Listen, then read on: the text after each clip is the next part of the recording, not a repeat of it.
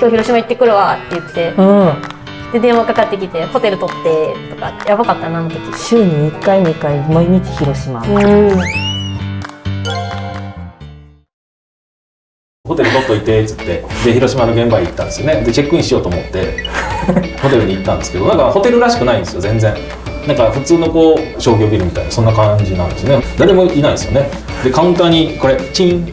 これが1個あってチンと押したら「はーい」って奥からおっさん出てきて「今日予約してたんですけどああお一人ですか?」って言われて「はい一人です」なんかおかしいなと思って「一人って聞かれるのなんでかな?」って思ってでそれはそうとうちラブホテルですけど大丈夫ですか?」って言って「おい末友」と思って俺を一人でラブホテルに泊めて何をしろ？って。言うのそれは面白いです末友ちゃんねまあまあこうセンスがあってであれどこだったっけ東北東北の方もホテル一遍取ってもらったことがあって。でそこもすごい変わったアットホームな宿だったんですよね。でまあすごい安かったって聞いたんであそっかっつって。ねでホテルに行ってなんかここも様子がおかしいんですよね。ほんで部屋に案内されてなんかあのね猫の写真がめちゃめちゃ飾飾ってあってでここですって部屋ガチャって案内してもらったらもうもうあの明らかに猫が寝てただろうみたいなのが布団の上にあってもう猫だらけでそこら中猫なんですよ。で私あの猫アレルギーなんで猫がいなくてもあのくしゃみが出るんですよ。猫の殺気を感じてずっとそれもう一晩中それはなんでそこにしたん？ですかいやあの私はブッキングドットコムはい。っていうアプリがあるんですけど、ビジネスホテルで検索して 見てたんですよね。で、まあ、できるだけ安いお部屋で探してたのがそこでラブホとも知らず猫屋敷とも知らず。そう。次の朝起きて朝飯ね食べに行くじゃないですか。もう猫がいるんですよね。机の上にも猫もう本当この距離ですこうやって猫と一緒にご飯食べてすっとも。う結構アレルギーなんですそう。ね猫アレルギーが猫好きとしてはねすごいいいホテルなんでしょうけど。もうそれからですよね、生活もちょっとちょっといいとこ泊まらせてもらえんっつって。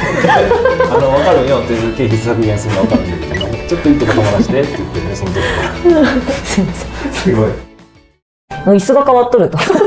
姿勢矯正、うんうん。骨盤矯正のできるいい椅子だったのに、うん。破れとったらしくて、うんうんうん。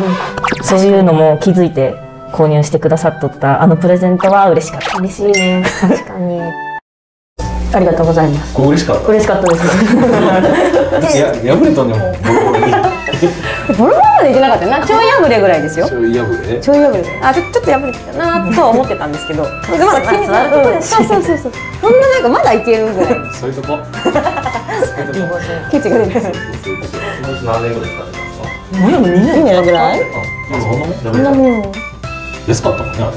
1万円してなかっいたや私たちからすればね1万円も高いんですよ。いやあのジムの椅子ってめっちゃ高いですよね、ね普通にね買ってもやっぱりオフィスチェアで56万とかするなしますよ。そうそうそうそうめっちゃ高いですよ。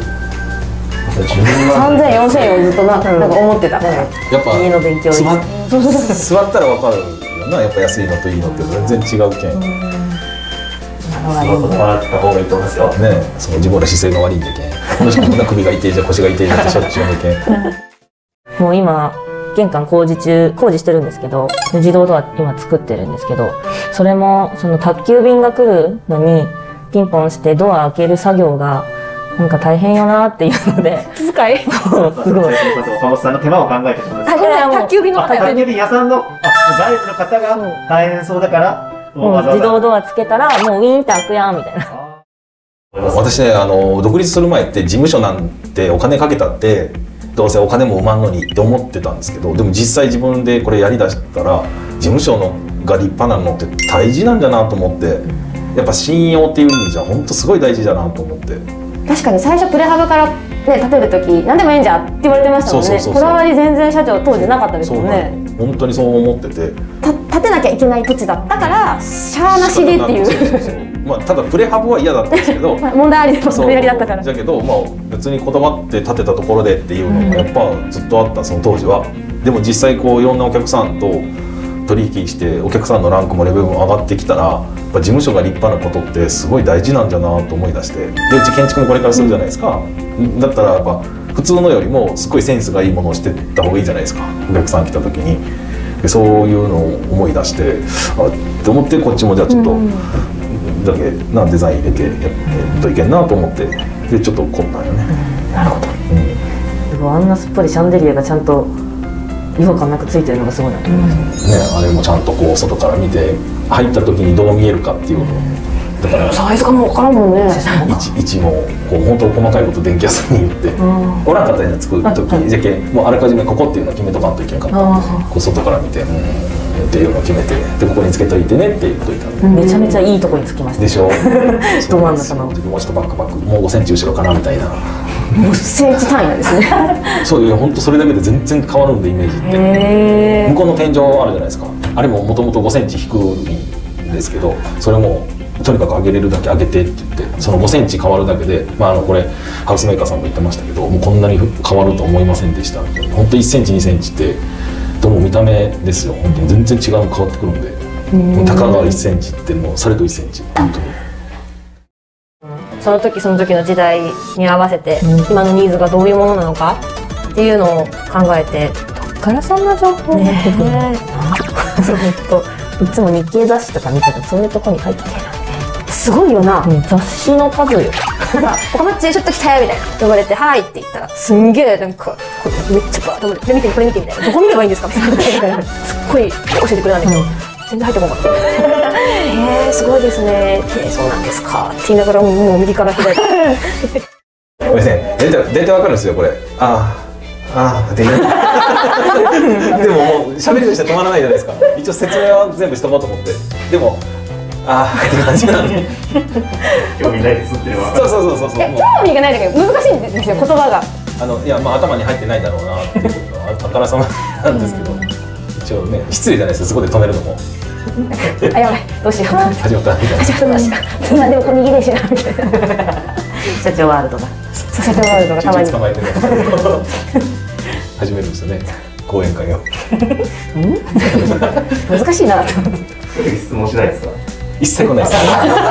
まだでもそうなんですよ。聞いたらまたそっちの今度またワールドなんですか？サワラの紙にたたり出して。もう一切触れてこないですもう口癖のように「へー。へえすごいですね。なるほどですね。でちょっと違う会社の話題とかなったら「まあ難しいですよね」が口癖 絶対言うよな。確かに言いますね。難しいですよね。って言ったら多分何も考えてないですよ一切考えてないです。お見通しですよ。もう全部分かった上でお話しされてるんですね。なるほど。まあ人間性の部分がすごいこの会社では学べるんかなって。そうですね。どうですか？人間性の私はそうですね。メンタル的に成長させていただきます。どういうどういう？それはオラって言われてるいやいやそれだけじゃないですよ。それはまあ、まあ、何ですかね。その例えばもう会社が厳しい時もからね、あの順調にこう順調な時だけじゃなかったっていういろんなことがやっぱあった中でもうその時々でいろんな経験をさせてもらったっていうので私はまあ精神的に多分強くなったかなと。ちょっとやそっとじゃあなんだろうもうみたいなのはならなくなったかなと。えもともとそうだった？どうなんですかね。弱くはなかった。いやでもでもちっちゃい時は歌り弱い人でしたよ。ベストが似合わんって言われただけで不登校になりましたし。ああ なるほどね。こだわりがねもともとあるね岡本っちって。何か一つこだわり出したらすっごいこだわる自分の中で多分気づいてないと思うけどもうこれはこれって感じ。もう自分の中でこれってなったら予想受け付けないですよね。ね。そう思いません？好き嫌いが激しいってことですか？いやいや違う違うもうこれはこうあるべきって言って自分の中で作っててそれ以外はもう考えられないっていう感じ。もうこれはこうあるべきでしょって言い出したらもうそれにしかならない。他の要素を取り入れてとかないですよ。悪口討論家だと悪口じゃないですよ。いやこだわりっていいことだと思う。信念とかですね、それにつながることです。か突き通すというか。それは社長の姿を見たからこそじゃないですもしかして突き通すことが大事さみたいないい方向で成長できたのかちょっと分かんないですよね。それ言われてたらいやいいんじゃないですか。いいんじゃないですか。いいんですかね。こだわるものに関して曲げないっていうのはいいと思います。やり通すっていうのはいいと思いますよ。ただちょっとね違う要素も考える余地はあった方がいいかもわからないですね。